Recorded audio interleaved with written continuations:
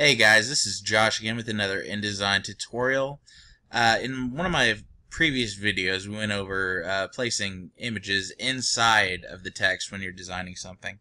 Uh, one of our viewers asked, how do you do that if there's two lines of text?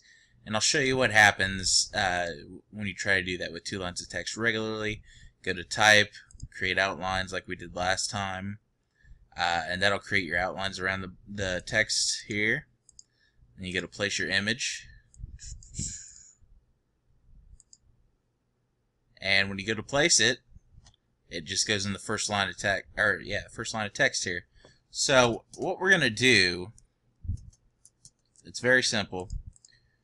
We're gonna do the same steps. So we're gonna go to Type, Create Outlines, and then what we're gonna do is we're gonna highlight our uh, text here, and we're gonna ungroup it which is uh, Shift Control G on a PC.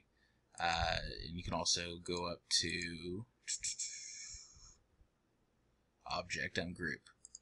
Uh, so after you ungroup it, then you're going to go back into Object, Paths, and make compound path. Or you can also hit Control 8. What that's going to do is to that's going to make this whole thing connected. So when you go to place your photo,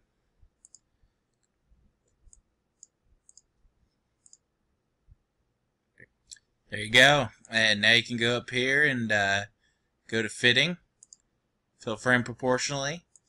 You can double click on it, change it however you need to do. Scale it however you, want it. And uh, that's all there is to it. Now you've got your your text frame here and uh, you can work with that. So thanks so much for watching my video guys. Uh, please feel free to uh, leave a comment maybe like my video and uh, definitely subscribe. I'll be uh, looking to churn out some more good stuff for you in the future. So thanks for watching